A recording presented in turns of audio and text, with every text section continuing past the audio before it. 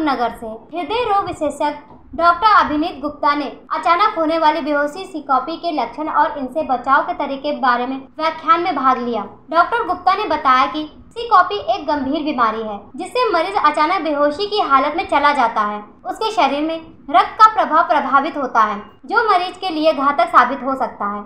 इससे उसकी जान भी जा सकती है। सिकॉपी जैसी बीमारी से सैकड़ों लोगों की जान प्रतिवर्ष जाती रहती है।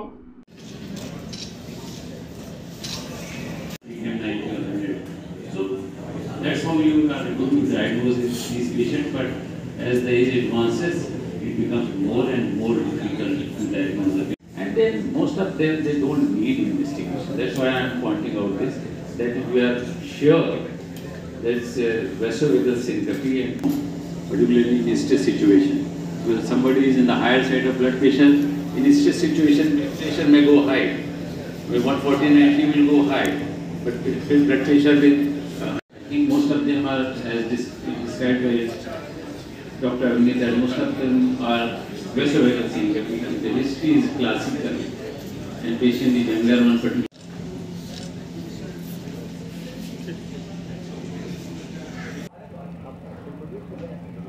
नमस्कार आज आईएमए कानपुर के तत्वाधान में हम लोगों ने जो अचानक होने वाली बेहोशी है जिसे हम मेडिकल भाषा में सिनकपी कहते हैं उस पर चर्चा की है उसके कारणों पर, उसके लिए जो निदान है और उसका इलाज किस तरह से किया जाए, इस पर चर्चा हुई। मैं आम जनता को यही संदेश देना चाहता हूँ कि जो अचानक होने वाली बेहोशी है, ये एक बहुत ही कॉमन बीमारी है। दो तिहाई कारण बहुत कॉमन होते हैं और जान के लिए खतरे वाले नहीं होते हैं, लेकिन जो एक तिहाई कारण है, वो जान के लिए खतरे वाले हो सकते हैं। ऐसे में आपको अपने चिकित्सक के पास जाकर जो उचित इलाज और उचित निदान के लिए जो चीज़ें बताते हैं वो करना चाहिए।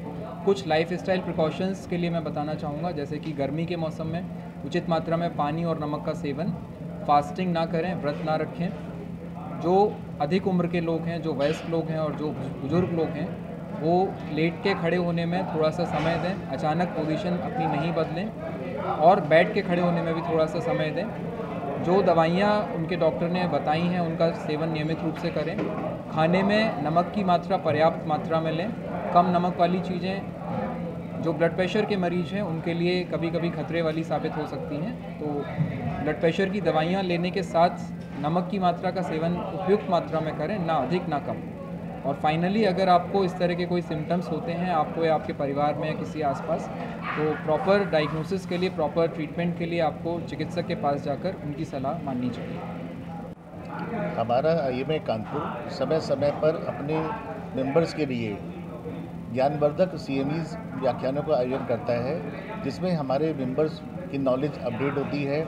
इसमें जो विशेषज्ञ डॉक्टर हैं, वो समसामयिक विषयों के बारे में नए नए इलाजों के बारे में नई नई आधुनिकतम विधाओं के बारे में हमारे चिकित्सकों को लेक्चर लेके ट्रेन करते हैं और नई नई विधाओं के बारे में बताते हैं, जिससे वो लोग मरीजों को बेहतर इलाज दे सकें। तो ये इस प्रकार के व्याख्यान हमारे आई एम कानपुर अक्सर आयोजित करता रहता है। तो आज हमारा जो व्याख्यान है, वो कार्डियोलॉजी में जो अचानक से होने वाली बेहोशी, जिसको सिक्कोपी बोलते हैं, इसके बारे में एक बहुत ही कॉमन स्थिति है, जिसमें अचानक से कोई व्यक्ति खड़ा हुआ और बेहोश हो गया, अचानक से कहीं जाते जाते कोई गिर के बेहोश हो गया।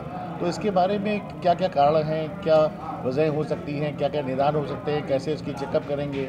इसके बारे में हमारे जो सीनियर कार्डियोलॉजिस्ट हैं एजेंसी हॉस्पिटल के डॉक्टर अवनीत गुप्ता, उन्होंने आज का व्याख्यान दिया है और सभी डॉक्टरों को, उनकी नॉलेज को अपडेट करा है।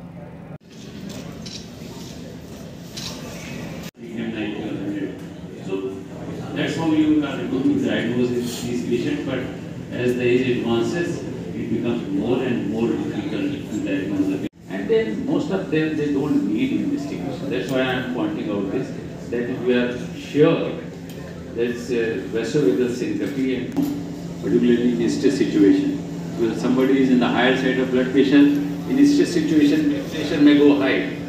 With 140 90 will go high, but blood pressure with, are, as this described by Dr. Avneet, that most of them are vasovagal syncope. The history is classical, and patient is younger one, particular.